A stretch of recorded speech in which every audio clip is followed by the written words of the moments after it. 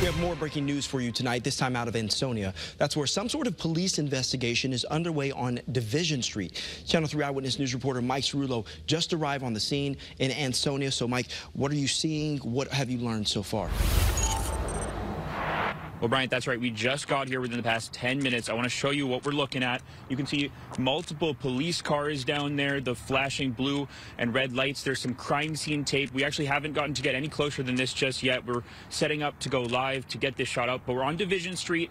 You're looking at the part of Route 8 where the overpass is right over where this police scene is. So it's on the Derby and Ansonia line pretty heavy police presence out here. We actually spoke to a witness, says she heard what sounded like gunshots about 30 minutes ago, a little while ago.